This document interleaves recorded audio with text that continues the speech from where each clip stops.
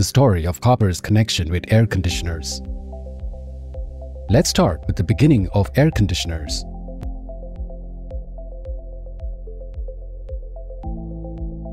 Back in 1902, a temperature problem in a publishing house in Brooklyn, New York, triggered the invention of a spray-type temperature and humidity control system by Willis Carrier. In 1914, the first residential air conditioner was installed in a private mansion of Minneapolis millionaire Charles Gates by Carrier. It was a massive unit. 1930 saw the invention of the room air conditioner in the USA. Over the following decade, these compact, box-shaped units began making their way into wealthy homes in cities across the country. Twenty years later, in 1954, the first generation of commercial ACs were introduced to the Indian market by Carrier Corporation. With its inherent properties of high thermal conductivity, formability, corrosion resistance, ease of joining, infinite recyclability, copper had been in use in heat exchangers since the late 1700s. During the 1960s to 2000s, AC manufacturers in their quest for more efficient condensers started innovating with copper tubes in heat exchangers. Small diameter and inner groove tubes were introduced. By the early 2000s, 9.52 mm and 7 mm diameter inner groove copper tubes became the norm. The year 2006-2007 was a milestone year in the Indian room air conditioner market. The Bureau of Energy Efficiency BEE introduced its landmark star labeling program. This was done to introduce energy-efficient ACs in the market and educate customers about potential energy savings. By 2010, the star labeling became mandatory for all room ACs. OEMs were now faced with the challenge of producing energy-efficient room ACs and optimizing the cost of manufacturing.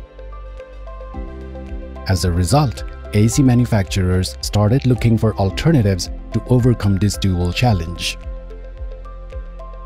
This led to the introduction of aluminum microchannel condensers, also known as PFC, and aluminum alloy condenser in the room AC segment. 2010 to 2014 Aluminum microchannel emerged as an economical and energy-efficient option it was rapidly adopted by the OEMs and by 2014, its market share rose to 45%.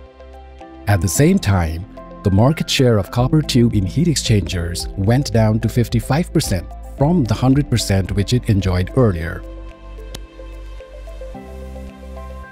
2014 to 2016 the rapid gain in market share of aluminum alloy condensers came with a higher number of complaints from consumers and technicians, such as corrosion and leakage issues.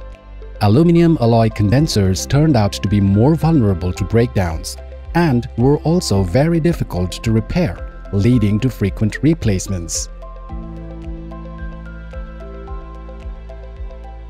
2016 to 2018 with retailers and consumers losing faith in aluminum alloy condensers, the focus shifted again to ACs with the 100% copper. A widespread awareness campaign was undertaken to highlight the benefit of 100% copper ACs so that consumers could make an informed choice. On the technology side, OEMs started optimizing their ACs with 5mm small diameter micro groove copper tube heat exchangers as they are economical, eco-friendly, compact, and energy efficient. Driven in part by greater consumer awareness and demand, OEMs soon shifted back to copper condensers. Several OEMs also started adopting 5mm small diameter copper tube heat exchangers. With OEMs shifting back to copper condensers, 100% copper stickers became the industry norm. By 2018, copper tubes condensers started gaining market share once again, as they were easy to maintain, corrosion resistant, energy efficient, reliable, and durable. Also, by 2018, the aluminum condensers market is limited to cheaper room AC models meant for smaller markets such as tier-three cities and rural areas.